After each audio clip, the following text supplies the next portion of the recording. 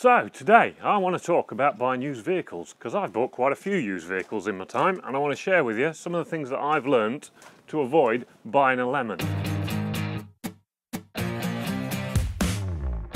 I'll also give you some tips on how to find out how much a van's worth so that you can avoid paying over the odds for them. And talking of paying over the odds, there's a link in the description for when you do get your van on how to keep a lid on the cost of converting them. So check that out. Anyway, let's get on with the video.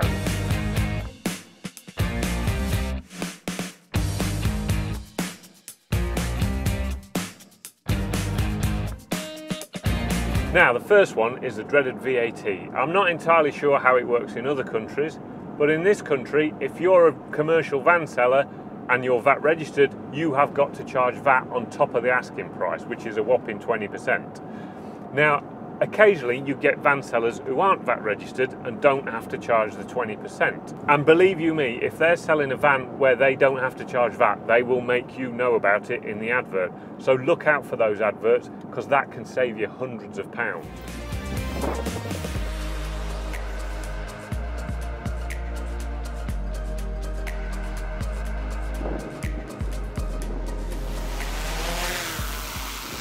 Service history. Make sure your van's got some sort of service history.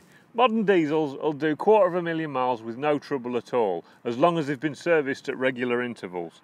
It doesn't matter if it's a main dealer or if it's just a bloke down the road. So long as it's got something in there to say that it's been serviced at regular intervals and had the filters changed, you'll be all right.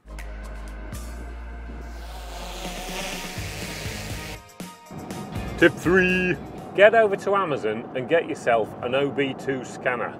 I think I'm right in saying that all vehicles manufactured after 1996 came with an OBD2 port. You might have to Google it for the particular van that you're looking at. But these scanners, they're only about 20 quid. I've put a link in the description to them. And if you plug them in, turn the ignition on, it'll tell you about any engine fault codes. And it's 20 quid that could easily pay for itself if you're looking at a bit of a lemon. Right, go for a walk? Yeah? go for a walk?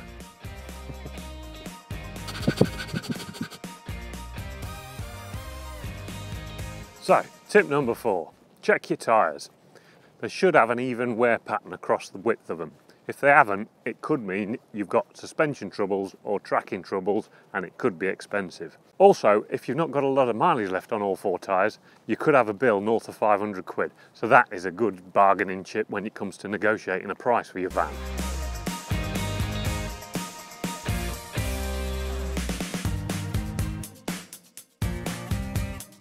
Number five. I don't know what it's like in other countries, but here in the UK, we've got a load of vehicle checking websites where you just put the number plate in, pay a small fee, it'll tell you some really useful stuff, like how many previous owners there's been, whether it's got outstanding finance, whether it's been reported stolen or even written off, all sorts of useful stuff like that, and they can save you an arm and a leg.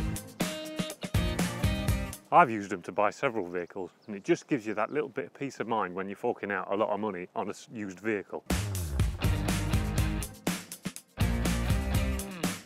Right, where are we at? Number six, I think. So, number six.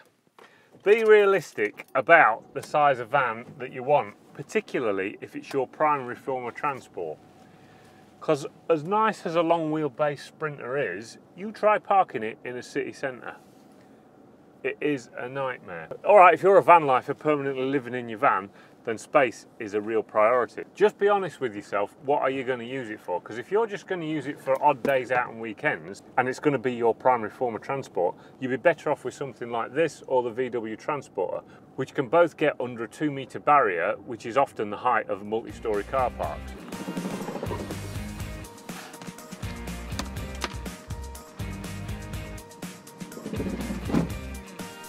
Right, so you've decided on your van, but how much is it worth? Well, one good way I've found of uh, figuring that out is go onto eBay, put in your criteria for your van, and then just click completed listings and eBay will show you all the winning bids on vans of that criteria. And it gives you a good ballpark figure to figure out where to start from.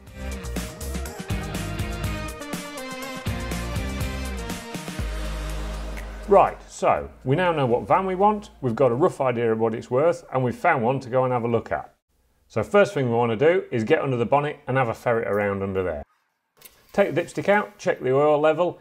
It doesn't matter too much if it's black like this, just so long as it's not over full or under full, because that's where the damage can happen. Next, move on to your oil filler cap, take it off, have a look inside it. It should be nice and clean like this one. What you don't want to see is any white residue, because if you've got white residue, it means that oil has mixed with water, which probably means a blown head gasket, and you want to walk away. And while you're under here, check all your fluid levels like your brake coolant, your engine coolant, uh, power steering fluids, those kind of things. Next, we'll move on to the brakes. Check for wear on the brake disc. You don't want too much of a lip on this edge because it could mean they're overworn and they might need replacing. Then stick your phone in, take a photo of the brake pads. You should be able to just about see the top edge of the brake pads, see how much meat's left on those. Then jump inside the van, turn all the switches on and off, make sure everything works like the air conditioning, the fan, the electric windows and all that good stuff. Then you'll need to take it for a test drive and you're just listening for things like when you brake, is it pulling to one side or the other? Is there any unusual noises under heavy braking or acceleration? And is anything funny happening when you're cornering? Any unusual vibrations or noises?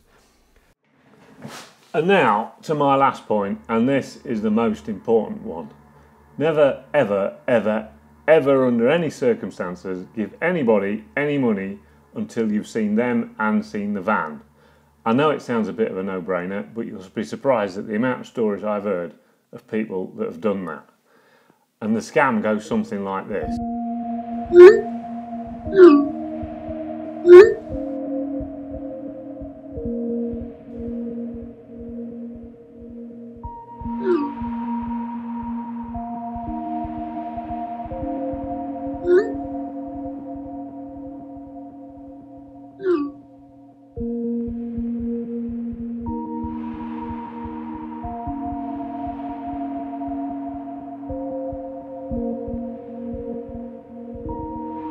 Ninety percent of the time in these scams, the van doesn't even exist, or they've ripped it off the internet from eBay or Auto Trader. So when you check it out, it all checks out.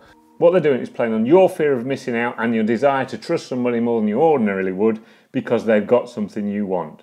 Nobody who's selling a van will ever ask you for any money without seeing it. They want to sell the van just as much as you want to buy it, so they're not going to make any unreasonable requests. So never ever it always makes me want to put my head in my hands when I hear these stories. Just don't do it. if it's too good to be true, it probably is.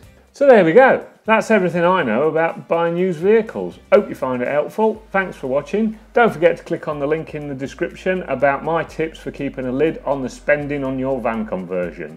And I'll see you next time. Bye.